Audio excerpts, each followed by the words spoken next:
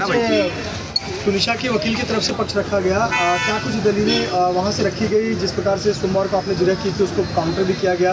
किस प्रकार की दलीलें आज रखी गई कोर्ट में? देखिए कोर्ट में जो भी दलीलें रखेंगे जनरली यहाँ मुझे नहीं बोलना चाहिए।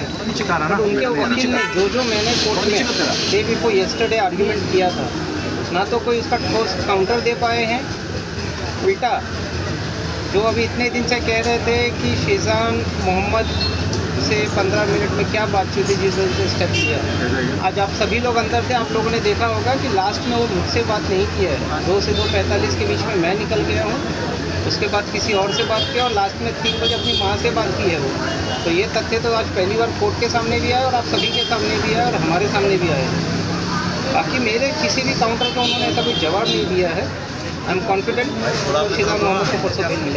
पुलिस की क्या इन्वेस्टिगेशन ठीक तरीके से नहीं हुई? क्योंकि बहुत सारी बातें तो अब जाके आप लोगों के जिरह के दौरान सामने आ रही है कि लास्ट कॉल किसका था? आज खुद उनके वकील ने कहा कि लास्ट कॉल तो माँ को किया गया था छुट्टी पे जाने की बात की तो क्या पुलिस के जाँच पर भी सवाल उठते हैं?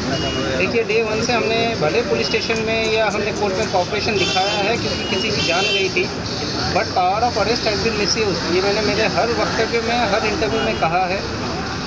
पुलिस अगर चाहती तो दो दिन प्रॉपर इन्वेस्टिगेशन करती जो तथ्य आज ये कोर्ट के सामने मैंने लाए हैं या सरकार ने लाए हैं या तरुण शर्मा ने लाए हैं। इन तथ्यों के बेस पे तो शिजान मोहम्मद का अरेस्ट हंड्रेड परसेंट इलीगल है। सर आप इतने कॉन्फिडेंस से क्यों कह रहे हो कि नेक्स्ट डेट पे शेजान को बेल होगी? क्योंकि पिछले दो टाइम से रिजेक्ट हो रही है। इतने आप कॉन्फिडेंस से कह रहे हो कि नेक्स्ट टाइम हो जाएगी? सबसे पहली बात तो हमारा आज तक कोई एप्लीकेशन रिजेक्ट नहीं हुआ है। हमारा हर एप्लीकेशन इसके पहले भी अलाउ हुआ है। और हमारा ये जो बेल एप्लीकेशन ये एडजॉन हुआ है फॉर ऑर्डर परसों हमारे बेल एप्लीकेशन के ऊपर ऑर्डर पास होगी। और बेल इसके लिए मुझे मिलेगा क्योंकि उनके पास, सरकार के पास या किसी के पास कोई तथ्य नहीं है। वो खुद अपने आप को कॉन्ट्राडिक्ट करते जा रहे हैं। जो अभी आप सभी मीडिया वालों के सामने कह रहे थे, पचास मिनट दूरी पे हॉस्पिटल लेके गया, पचास मिनट दूरी पे हॉस्पिटल लेके गया। आज तो सरकार और तरुण शर्मा दोनों एडमिट करते हैं कि बीस से पच्चीस मिनट की दूरी पे हॉस्पिटल लेके गया तो अभी सेट से जो हॉस्पिटल में लेके गया हूँ मल्टी स्पेशलिटी हॉस्पिटल है। B H M S doctor को अथॉरिटी ही नहीं है ऐसे मैटर्स को हैंडल करने का। वो पहले पुलिस को बुलाएगी, पुलिस उनको परमिशन देगा, तब जाके आगे बढ़ेंगे। मल्टी स्पेशलिटी हॉस्पिटल में पहले जान बचाने का कोशिश करेगा। और उस समय जो इसको, उसको, जिसको पूछ के जो नज़दीक का हॉस्पिटल मिला हमें, हम नज़दीक के हॉस्पिटल में ही गए। शैली जी आज थोड़ा कोर्ट पे हीटेड आर्ग्यूमेंट भी हुआ और निजी टिप्पणियाँ भी काफ़ी देखने को मिली काफ़ी हीटेड आर्ग्यूमेंट रहा।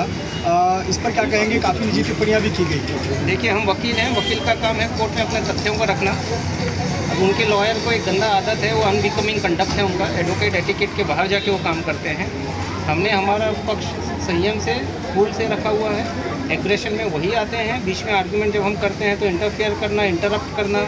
ये उनकी आदत देखी गई है। हमेशा हर प्रकरण में जब भी वो आते हैं, हर डेट में, कुछ ना कुछ आते हैं एलिगेशन लगाते हैं मीडिया के सामने, लेकिन कोर्ट के सामने जब आते हैं, उस एलिगेशन में एक भी एलिगेशन का जवाब नहीं देते हैं। ना तो आज उन्होंने हिजाब पे आर्ग्यूमेंट किया, ना तो आज उन्होंने लव जिहाद पे आर्ग्यूमेंट किया, ना तो आज उन्होंने स्लैप मारा, उसके ऊपर आर्ग्यूमेंट किया। तो जो एलिगेशन वो पुलिस के सामने लगाए हैं, उसी एलिगेशन पे अपना तथ्य रखे हैं। और जो जो एलिगेशन वो मीडिया के सामने लगाते हैं, आप सभी मीडिया के सामने क्या इन चीज़ों पे उन्होंने आज कोर्ट में आर्ग्यूमेंट रखी है? एक, एक उस दिन आपने सोमवार को अली का मुद्दा उठाया था। आज ये कह रहे थे कि अली जो है वो जिम ट्रेनर है और नोन फ्रेंड है जिससे उसने बात की और माँ से आपकी कॉल की थी। ये पॉइंट किस तरह से देख रहे हैं आप? देखिए अली सुनिशा का दूर दूर तक जिम ट्रेनर नहीं था। मैंने जो तथ्य कोर्ट के सामने परसों रखे हैं वही सत्य है और कल पुलिस के जाँच में वही निकल के आने वाला है। जी एक आखिरी सवाल। वनीता शर्मा कोर्ट रूम में मौजूद थी। उन्होंने बार बार भावनाओं में आकर कहा कि मेरी बेटी गई है मेरी बेटी गई है। आप पर भी निजी टिप्पणी करते हुए फिर जज ने कहा कि वो उन्हें बाहर निकाला जाए। इस पर क्या कहेंगे घटना को लेकर? देखिए मेरी और सभी की सहानुभूति उनके साथ में है। लेकिन जब तेईस तारीख को उनके नॉलेज में शिजान मोहम्मद ने एक एपिसोड लाया था क्या उन्होंने अपनी ड्यूटी पूरी की? उन्होंने अपनी ड्यूटी पूरी नहीं की। तो आज वो पूरा ब्लेम सभी के ऊपर डाल रहे मेरे ऊपर भी डालने का आज आपके सामने कोर्ट ने कोशिश किया है। बट उनकी व्यक्तिगत राय उनकी व्यक्तिगत टिप्पणी है। दूर दूर तक हमारा या किसी का उनसे कोई लेना देना नहीं है। Again, I am making a statement. If you would have taken a corrective step on 23rd of December 2022, things would have been different. Thank you sir court ने परसों की तारीख तेरह तारीख दी है। पर तेरह तारीख को कोर्ट ऑर्डर सुनाएगी हम लोग तब तक वेट करेंगे तब तक हम आप लोगों से कुछ नहीं कह सकते। लेकिन आज कई सारे आरोप लगाए गए तो कई सारे आरोप लगाए गए आज नो कमेंट सॉरी अली को लेके काफ़ी वनिता जी क्या कहेंगे? वनिता जी वो कोर्ट में- क्या वो ऑलरेडी वो ऑलरेडी कोर्ट में क्लियर हो गया है। बाकी हम तेरह तारीख का वेट करेंगे। तेरह तारीख को आपको पता चल जाएगा कि कोर्ट ने क्या order thank you Tinder application को लेके कुछ कहा है। जिस प्रकार आज कोर्ट ने तारीख रखी थी आ, हमारी दलीलों के लिए, सरकारी वकील ने भी अपनी दलील रखी और हमने भी हमारी दलील रखी। तो जस्ट जो हमारा जो आर्ग्यूमेंट था, वो आज हमने रेस्ट कर दिया, हमने ख़त्म कर दिया है, उसमें हमने जजमेंट भी सपोर्टिंग जजमेंट भी दिए। हमारा ले आर्ग्यूमेंट जो था, वो एक ही विषय पे था।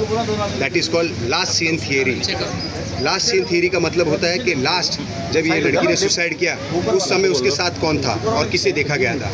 और उसमें सेजान के अलावा और कोई नहीं था। तो इसी बेस पे हमारा पूरा आर्ग्यूमेंट था और आज हमने आर्ग्यू भी किया है। जिस प्रकार से उनके परिवार के जो एलिगेशंस थी कि ये परिवार ऐसा था, इनकी माता जी ऐसी थी, ये थी उसके ऊपर। उसके ऊपर भी हमने पूरी तरह से आज जवाब दिया है।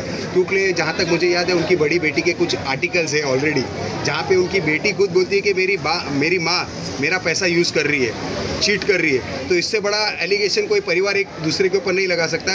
तो ये सिद्ध होता है कि ये परिवार में कितनी गड़बड़ थी। और जो तुनिशा की माँ का एलिगेशन है कि दो से ढाई महीने में उन्होंने तीन लाख रुपए दिए थे, वो तीन लाख रुपए कहाँ गए, उसके ऊपर भी अब इन्वेस्टिगेशन की ज़रूरत आ गई। जब ऐसी ऐसी एलिगेशन एक बेटी के द्वारा अपनी माँ पे आती है तो इसके लिए भी सिद्ध करना बहुत ज़रूरी है। लास्ट कॉल है अपनी मदर को किया है ये इन्वेस्टिगेशन एजेंसी ने आज अपनी रिपोर्ट में दिया है। वो तीन बजे अपनी माँ को ये बोलते हुए किया है कि माँ मुझे चंडीगढ़ जाना है मेरी टिकट बना दीजिए। तो इनका अब ये आर्ग्यूमेंट है कि माँ के कारण सुसाइड है तो ये बहुत बड़ा आश्चर्य है। Thank you thank you Tarun